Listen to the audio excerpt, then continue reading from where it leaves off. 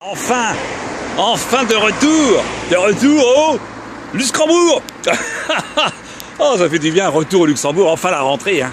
C'est qu'on avait marre des vacances, les plages de sable fin, tout ça. C'est très joli la mer turquoise, très joli, mais des pays où il y a beaucoup de pauvres, hein. beaucoup de pauvres. Alors qu'ici, on est tranquille, au Luxembourg. Il n'y a pas de pauvres, pas de migrants. Pas de migrants, ou, alors des monégasques ou des Suisses. Mais il n'y a pas de pauvres. Hein.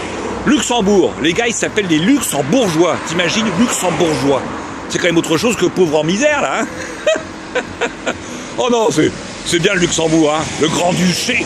Le grand-duché, il y a un grand-duc, hein. Il y a des petits marquis aussi. Il y a des comptes bancaires, surtout des comptes bancaires. C'est vraiment le paradis, hein. Paradis euh, fiscal peut-être, mais c'est le paradis. J'ai rencontré Dieu. J'ai vu Dieu. Dieu est luxembourgeois.